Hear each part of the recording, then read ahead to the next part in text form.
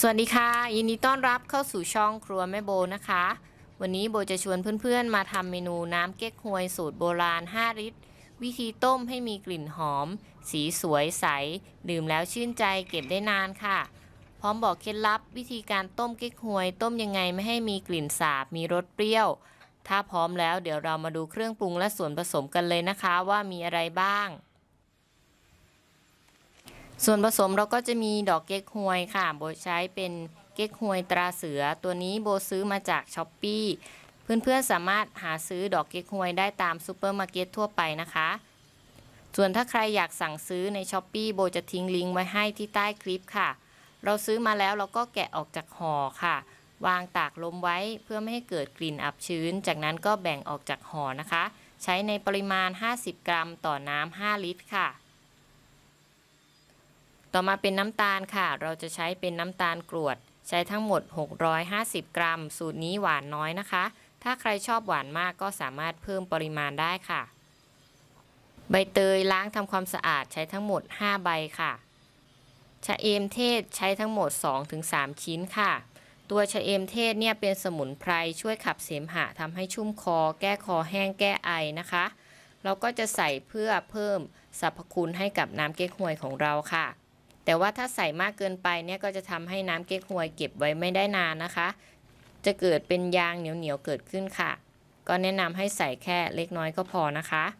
ต่อมาเป็นเม็ดพุทจีนเราจะใส่ในปริมาณ 4-5 เม็ดค่ะ ตัวเม็ดพุทจีนเนี่ยก็จะใส่เพื่อเพิ่มสีสันให้น้ำเก๊กฮวยของเราเนี่ยมีสีเหลืองสวยนะคะสรรพคุณก็เพิ่มความสดชื่น แก้ร้อนในกระหายน้ำได้ดีค่ะ ต่อมาเป็นเกลือค่ะ ใช้ประมาณ 1 หยิบมือหรือ1ส่วน4ช้อนชาค่ะ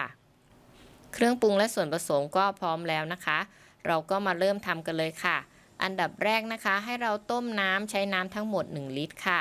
ต้มน้ำให้เดือดแล้วก็นำเก๊กฮวยที่เราเตรียมไว้เนี่ยนำลงไปลวกค่ะ ใช้เก๊กฮวยทั้งหมด 50 กรัม สาเหตุที่เราต้องนำเก๊กฮวยมาลวกก่อนเนี่ยเพื่อ ลวกเอาความฝาดความขมออกไปก่อนนะคะ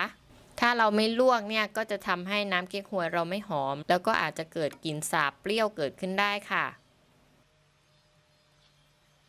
ใช้เวลาในการลวกประมาณไม่เกิน 1 นาทีเท่านั้นนะคะ จากนั้นเราก็นำดอกเก๊กฮวยที่ได้เนี่ยมาล้างทำความสะอาดสักหนึ่งรอบค่ะ ล้างน้ำเปล่าธรรมดานะคะ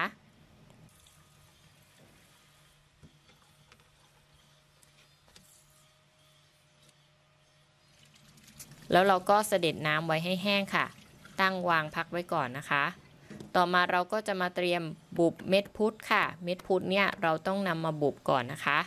การที่เราใส่เม็ดพุทธเนี่ยก็จะทำให้น้ำเก๊กฮวยมีสีสันที่สวยงามมากยิ่งขึ้นค่ะ ก็จะทำให้เป็นสีเหลืองสวยนะคะต่อมาเป็นขั้นตอนการต้มน้ำเก๊กฮวยค่ะ เราจะใช้น้ำทั้งหมด 5 ลิตร ต้มให้เดือดค่ะ จากนั้นใส่น้ำตาลกรวดลงไป ถ้าใครไม่มีน้ำตาลกรวดสามารถใช้น้ำตาลทรายแทนก็ได้นะคะ แล้วก็ใส่ใบเตยลงไปค่ะ ใช้ทั้งหมด 5 ใบเพื่อเพิ่มกลิ่นหอม ตัวชะเอมเทศใส่ลงไป 2-3 ชิ้นค่ะ เม็ดพุทจีน 4-5 เม็ดเพื่อให้สีสันที่สวยขึ้น ตามด้วยเกลือ1ส่วน4ช้อนชาหรือประมาณ 1 หยิบมือค่ะ จากนั้นก็ต้มไปจนกระทั่งน้ำตาลละลายดีค่ะ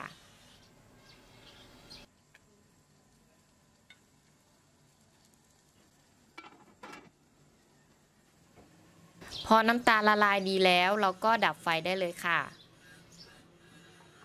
แล้วเราก็ใส่ดอกเก๊กฮวยที่เราลวกเตรียมไว้ลงไปนะคะ จากนั้นเราก็ปิดฝาอบไว้ประมาณ 10 นาทีค่ะ เพื่อสกัดเอากลิ่นหอมที่อยู่ในดอกเก๊กฮวยออกมานะคะ อครบ 10 นาทีแล้วเราก็ยกลงมากรองได้เลยค่ะ ในขั้นตอนการกรองนะคะ เราก็เตรียมหม้อมา 1 ใบ รองด้วยผ้าขาวบาง 2 ชั้นค่ะ ตัวผ้าขาวบางเนี่ยก็ซักทำความสะอาดให้ดีก่อนนะคะ ก่อนที่จะนำมากรอง ไม่เช่นนั้นแล้วน้ำเก๊กฮวยก็จะเก็บไว้ไม่ได้นานนะคะ แล้วเราก็เทกรองได้เลยค่ะ ในส่วนของกากเก๊กฮวยเนี่ย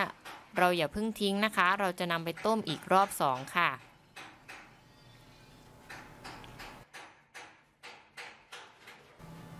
เราก็รวบผ้าแล้วก็บีบน้ำออกให้ได้มากที่สุดนะคะ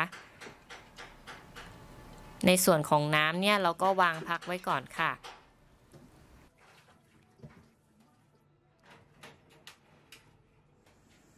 ต่อมาเรามาต้มรอบ 2 ค่ะ เราจะใช้น้ำในปริมาณที่น้อยลงกว่ารอบแรกนะคะ หรือประมาณ 2 ลิตรก็ได้ค่ะ จากนั้นก็ใส่กากเก๊กฮวยที่เราต้มในรอบแรกลงไปค่ะ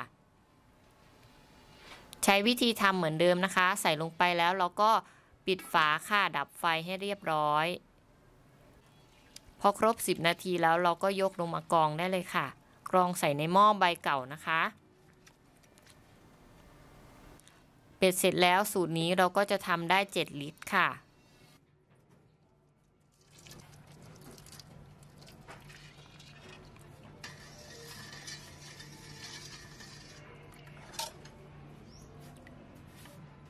พอพักไว้จนน้ำเก๊กฮวยเย็นดีแล้วเราก็นำมากรอกใส่ขวดได้เลยนะคะ ขวดที่เราใช้ก็จะเป็นขนาด 250 ml ค่ะ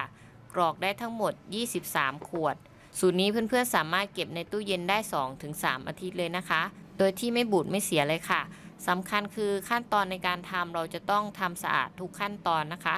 ในส่วนของภาชนะต่างๆ ที่เรานำมาใช้เนี่ยจะต้องเป็นภาชนะที่สะอาดเท่านั้นค่ะ เพราะว่าถ้าเราทำไม่สะอาดเนี่ยตัวน้ำของเราเนี่ยก็จะเก็บไว้ไม่ได้นานนะคะ